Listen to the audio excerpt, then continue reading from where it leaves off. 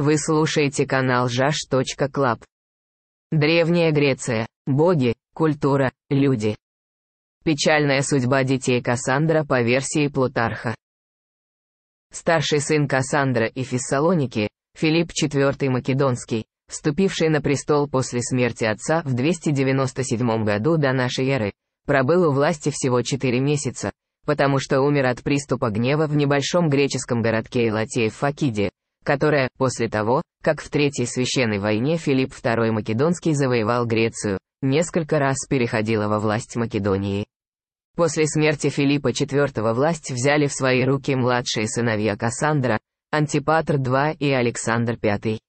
Дети Кассандра Фессалоника очень любила сыновей, и после смерти мужа имела на них большое влияние. Когда умер старший сын Филипп, мать стала все больше привязываться к младшему, Александру.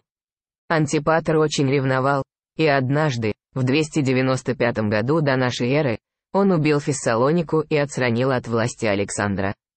Тот обратился к влиятельным королям соседних держав, прося их помочь ему вернуть престол.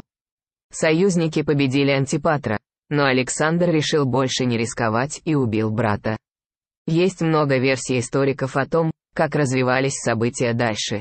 По одной из них, Александр решил избавиться и от своих союзников, после того, как убил Антипатра.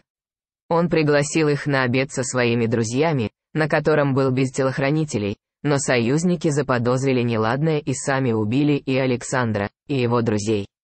Автором этой версии являлся древнегреческий философ Плутарх. Плутарх Плутарх родился в 46 году нашей эры и был не только философом, но и священником, писателем и биографом. Он жил при римлянах, занимал у них административные должности и даже имел римское гражданство. В молодости, учась в Афинах, он был сильно впечатлен философией Платона, на чем был основан его известнейший труд «Моралия». Свой греко-римский классицизм Плутарх вложил в параллельные жизнеописания, собрав в этой работе биографии всех самых известных персонажей. Плутарх происходил из достаточно богатой семьи, с большим вниманием занимался воспитанием и образованием своих детей и очень уважал своего брата Ламприю и прадеда Никарка. Он родился в Херонии, но после учебы остался жить в Афинах в 60 году, изучал философию, математику и риторику Платона и был в дружеских отношениях со своим учителем Амонием.